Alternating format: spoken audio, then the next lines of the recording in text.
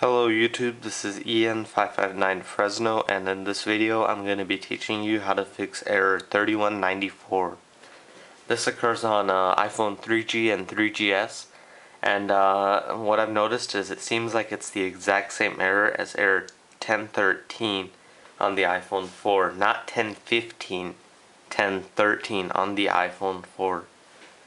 What you're going to need to do is uh, you need to follow two steps. One is changing the host file and the other is disabling antivirus, just temporary. Uh, it's like uh, you just have to let your iPhone restore, then you can enable your antivirus back, and it should be all good. Uh, so I'm to show you what to do, uh, like how to change the host file. Just uh, open up my computer, you know the little my computer icon, looks like that. Well, uh, it depend depending on what system you have, but once you do that, go to the local disk, hard disk drive, whatever you want to call it. It's uh, most of the time it's C, and then go to Windows, not Windows old if you have that, just Windows, and then go to System 32, which is right here. See System 32. And if you get lost, just look up here and those are where to go. Okay, so the next step is to go to drivers.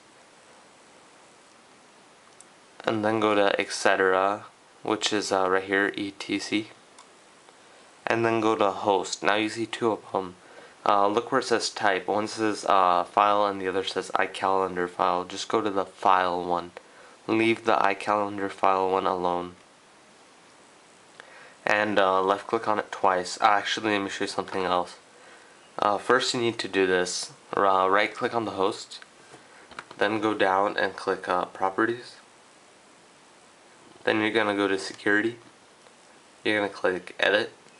And you're going to make sure system, everything is checked. Administrators, everything is checked on allow. And everything is checked on allow for users make sure everything is like that and then just click apply and OK and then click OK and then go back to the host and then uh, left click on it twice and you'll see this probably uh, go to notepad and left click on it twice and then you're, you're gonna see these two things. Well basically you just need to pay attention to this right here. Gs.apple.com what you can do is you can either erase these or you can leave them but just make sure it's these two only. I'd recommend you erase them so let's just do that and now we're gonna save control S or go to uh, file and save and see it'll be saved now just go back and we're gonna make sure it's saved yep it's saved uh, it's saved. Alright, next step to uh, what you have to do is make sure antivirus is just temporarily disabled. That's because uh, what I noticed was uh, some antiviruses they were blocking uh, computer like signal to Apple servers. That's why you got error 1013 or 3194. And uh, so that you can probably figure that out, but I guess I can give you guys a little uh, a little heads up, but it's gonna vary a little bit depending on what antivirus you have. So what you're gonna need to do is uh, hold Control Alt Delete on your keyboard. Just press them all at the same time. Control Alt Delete.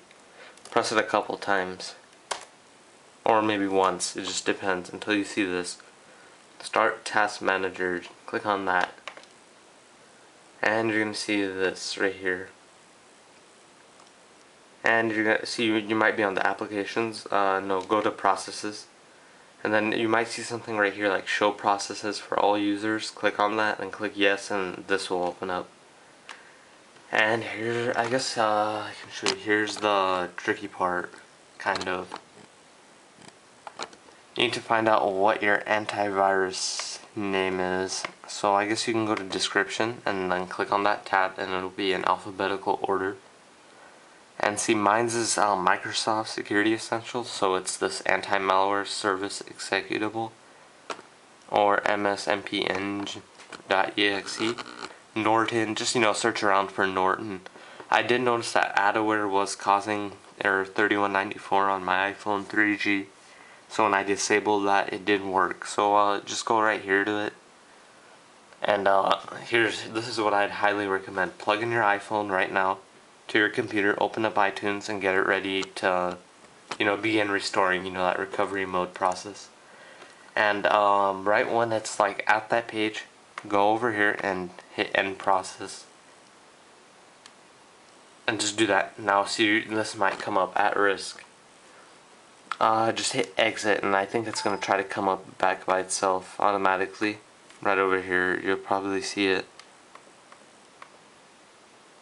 Alright, I guess it didn't. If it does, just keep hitting it. See, it's trying to come back up uh, right here. You're going to do it one more time. And just hit, now go back to the iTunes, hit the restore button right now. And just uh, keep looking out for this Microsoft security or whatever you're using, Norton. And keep hitting end process and it should be fixed. And then once like the restore is done, I'd highly recommend you start your antivirus back.